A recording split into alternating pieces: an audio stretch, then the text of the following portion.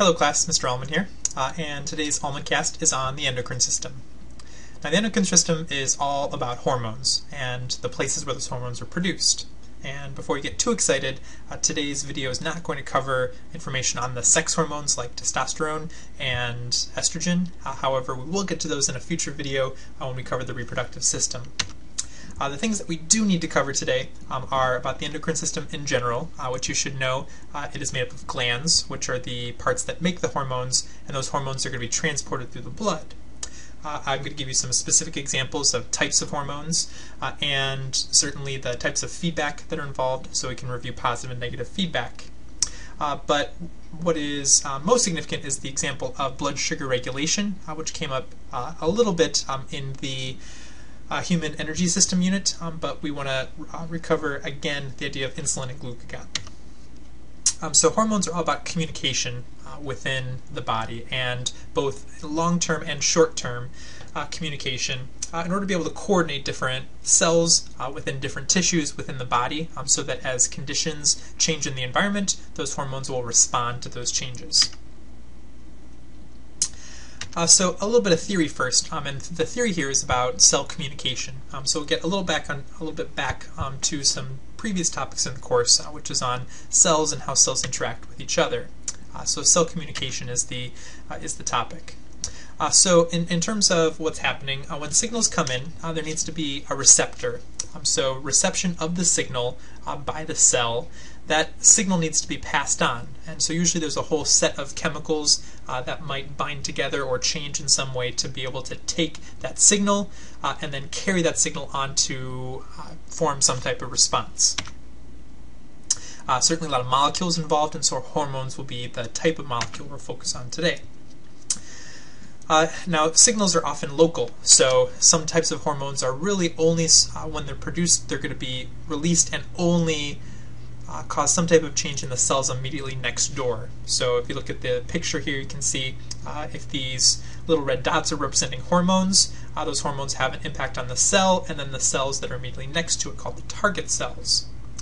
Uh, in many cases, cells are going to be physically connected or, or very close by, and there are some uh, very particular structures in the cell that are designed to allow chemicals from one cell to be given to another.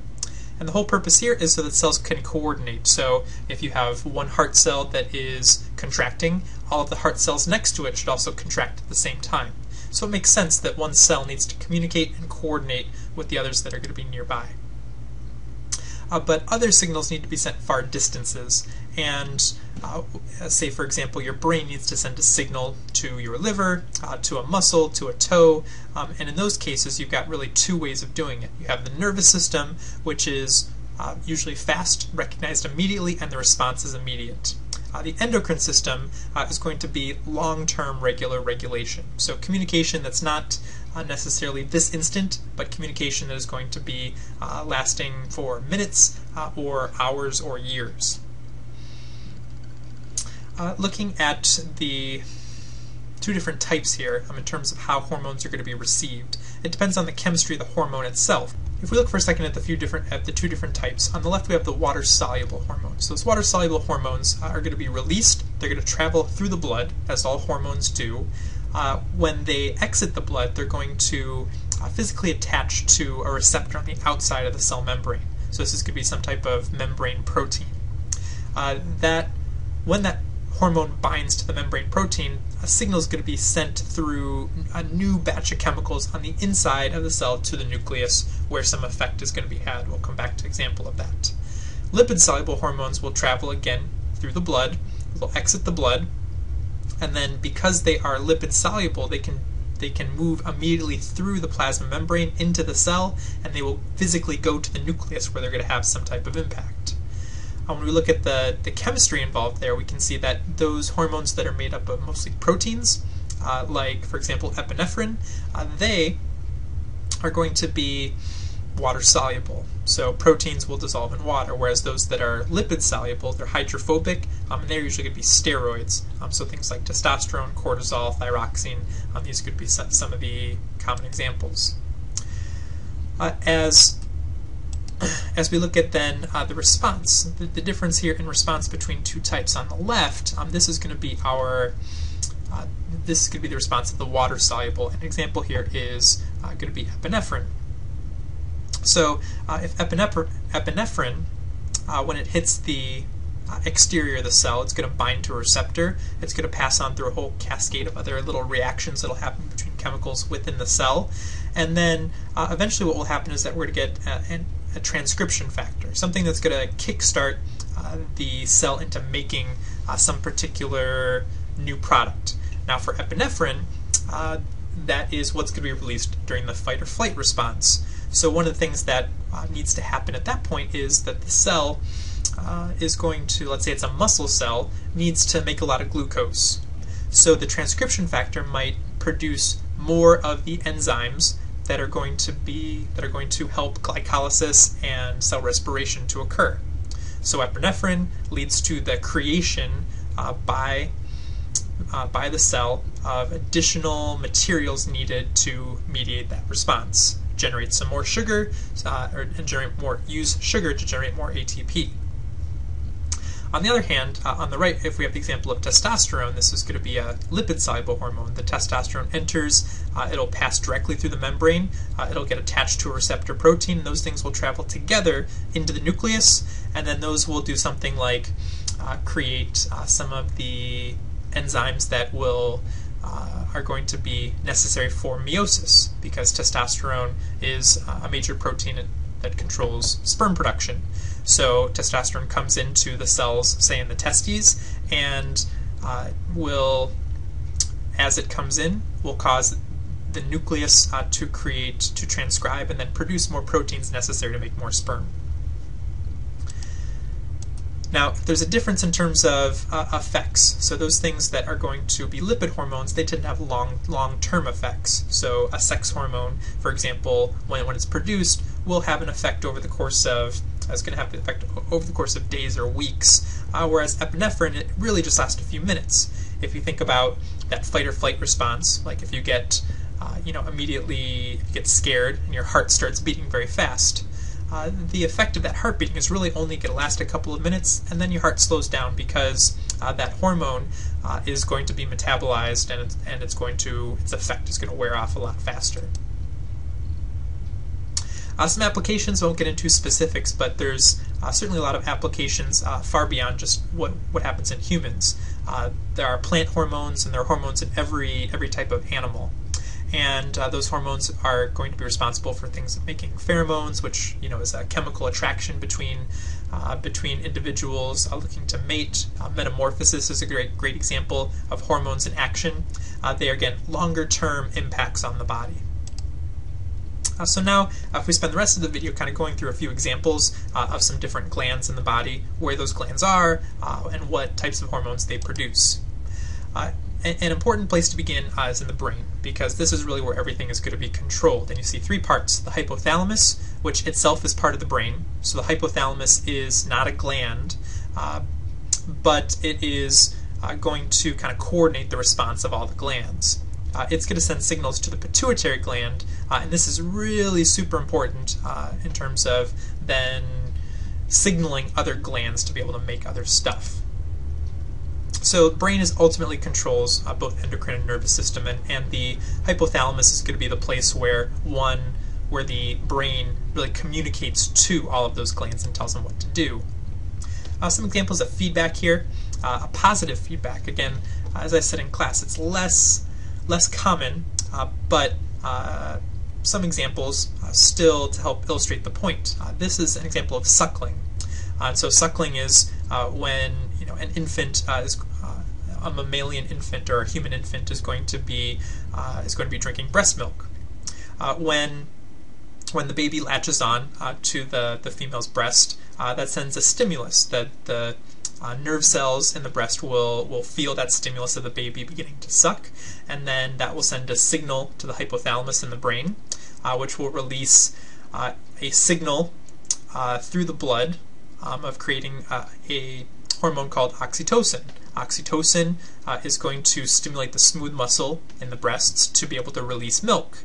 When that milk is released, it sends a response back to the brain to uh, to make more. More oxytocin goes into the blood, uh, causing more smooth muscle to be stimulated to release more milk, uh, and more milk uh, then gets sucked by the baby. And so, uh, as long as that suckling continues, as long as there's that input coming in, it's positive feedback to create more of the hormone. Uh, then, obviously, if the suckling stops, then the signal shuts off, and then there's no longer going to be uh, the creation of that oxytocin. Now, for negative feedback, this is usually in response to this is going to be in response to some change. Uh, so something uh, something we need to return back to a normal condition.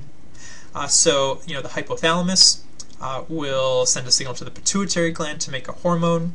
Uh, that hormone uh, will be released. It'll go to its target cells. so something like this is again could be epinephrine, where it is we have the endocrine cell in the adrenal gland in the kidney next to the kidney will make the epinephrine. Epinephrine goes to the target cells to increase uh, the metabolism within the cells. Uh, then, once that hormone is produced and the hormone is in the blood, feedback goes back to the hypothalamus, telling the hypothalamus to stop. The hormone has been made, it's time to stop making more. So, the presence of the hormone, the presence of the finished product, tells the brain to stop production because we've already made enough. Uh, pituitary gland uh, receives input from the hypothalamus. Hypothalamus is, in most cases, is just is only sending its signal next door to the pituitary gland to make what it wants to make. Uh, these to be hydrophilic, um, protein-based type uh, hormones. So there you can see uh, pituitary gland hanging down from below the hypothalamus. Here's the hypothalamus above, and then we have two parts, the posterior and anterior pituitary below. Uh, they make a whole bunch of things, and you can see, you can look at this, and you can come back to this Prezi linked from the website to be able to, to tour a little more closely. Uh, but you can see uh, hormones, including you know uh, oxytocin, uh, from the uh, hormones that are going to, trigger the production of sex hormones. we have signals going to the thyroid, to the mammary glands. we have growth hormone, and so there's a whole host of things that are made by the pituitary. Again, hypothalamus sends a signal uh, that goes travels through the blood a very short distance into the pituitary. Pituitary then makes the hormones that travel elsewhere. Uh, the thyroid, the thyroid you can see listed here. The thyroid is, is kind of covering the trachea, uh, so it's in this area uh, immediately, uh, kind of at the towards the base of the neck. Uh, it is involved in making a couple of hormones uh, named T3 and T4, which are helpful in regulating metabolism, and we need uh, iodine uh, for the thyroid to work properly. Uh, and you can see uh, from the picture here uh, that if you don't have iodine, you, this thyroid will swell up. It'll, it'll triple, quadruple, ten times bigger in size, and as it swells up, it creates this non-cancerous growth called a goiter.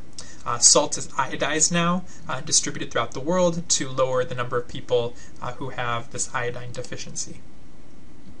The parathyroid, right next door to it, uh, the parathyroid uh, is involved in calcium, uh, and we'll move forward here to the pancreas now. the pancreas is the biggest gland in the body, um, so all it's doing is just pumping out hormones in addition to the other stuff that it makes um, for like digestive enzymes. Uh, in the pancreas, there's a couple kinds of cells, alpha, alpha cells and beta cells, that are significant for the regulation of blood sugar. Uh, and you should remember some of this from, uh, from our human energy system. Uh, but just to review, if your blood sugar is too high, like, for example, you just had a big meal or you drank a Coke, you got a lot of sugar in your blood uh, as a product of digestion. Uh, that, if you follow the red, sends a signal to the pancreas. The pancreas, the beta cells, are going to make insulin. That insulin is going to tell uh, cells to take up sugar from the blood. So that will help to reduce the amount of sugar that's in the blood because it's going to be taken up by body cells. Uh, also, it sends a signal to the liver to take the glucose and turn the glucose into glycogen. And glycogen is that uh, is going to be a polymer of glucose that's a way of storing energy. Uh, and then that'll get stashed away in the liver or in some of your muscles. Now, if your blood sugar is low, like you fasting, you know, it's the middle of the night, uh, then this is going to promote your pancreas to be able, your alpha cells in your pancreas to produce glucagon. The glucagon is going to tell your liver to take all that glycogen and start breaking it down. So we're going to uh, we're, uh, we're going to uh, hydrolyze it uh, to form glucose, and that glucose will then be released into the blood, and as a result, it's going to raise your blood sugar. So, knowing, uh, you certainly need to know the difference between these two hormones, uh, what effect they have on the body's systems, and the types of cells that are going to produce those. Uh, for you have your adrenal glands make things like epinephrine, uh, which was mentioned earlier in the video. Uh, so these are, are located uh, directly above. If we go back, here's your adrenal glands. They're located directly above uh, your kidneys. Um, so uh, really kind of physically attached to it. fight or flight response um, is an important one here. That burst of energy comes from the epinephrine, which does things like raise your heart rate, raise your uh, respiration rate, um, and increases metabolism. Uh, what we will cover uh, again a little bit later are uh, some of these are, are, what are called your gonads. Your gonads are the parts of your endocrine system. Uh, in males, the testes. In females, the ovaries that make hormones that then regulate uh, the uh, your reproductive systems. And so we'll get to those in a future video. but for now, that is a overview of the endocrine system and hormones and what it is that they do. Uh, one final thing that I'll point out, you can take a look uh, on the Prezi. Uh, here's a, a, pretty exhaustive list of types of hormones, uh, where it is that they act, what type of hormone it is, and what they do. Uh, and again, if you have any questions, please ask me in class.